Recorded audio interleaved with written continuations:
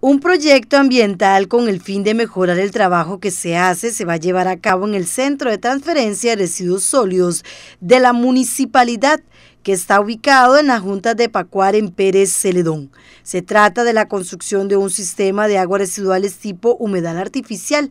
La intención es que todas las aguas que se generan aquí lleguen a un sistema centralizado. La obra se sacará licitación abreviada con el fin de que pronto se pueda hacer la construcción.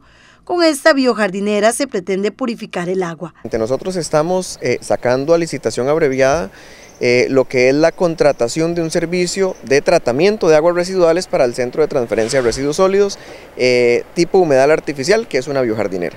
Entonces, la idea es de que todas las aguas cargadas, ¿verdad?, de lixiviados, pues que llegan al centro de transferencia, de lavado de camiones, de apertura de residuos orgánicos eh, o de la misma gestión del compostaje, puedan llegar a un sistema centralizado de tratamiento y pues que las aguas o la calidad del agua que nosotros tengamos aquí pues sea mejor en aras de proteger la salud pública.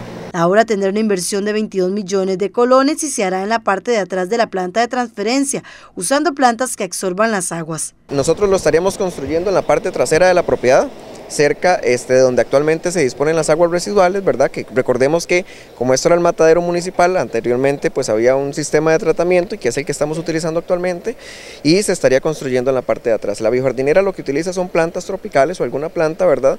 Pues que comience a absorber este, los materiales que nosotros queremos remover del agua, que en este caso, pues las aguas de nosotros están cargadísimas en, este, en lo que son eh, productos orgánicos, ¿verdad? En lo que son lixiviados, eh, entonces prácticamente eso es lo que nosotros queremos darle tratamiento. Entonces estaría construida en la parte posterior de la propiedad y conectaría eh, todo lo que genere aguas residuales de, eh, esta índole. Entonces, la parte de la gestión de los orgánicos, la parte de la gestión de la rampa de acceso y de la estación de transferencia eh, es lo que estaría directamente conectado junto con la parte donde se lavan los camiones recolectores. Esas aguas residuales no van a dar al río, pues con el sistema que se tenía con el matadero se tiene una laguna donde estarían llegando. Eh, vamos a ver, la proveeduría municipal, esperamos entre esta y la próxima semana saca el cartel de licitación para el concurso y pues ahí este, esperaríamos de comenzar en tres semanas, cuatro semanas, eh, dependiendo de si hay objeciones o dependiendo también del avance ¿verdad? de la contratación como tal.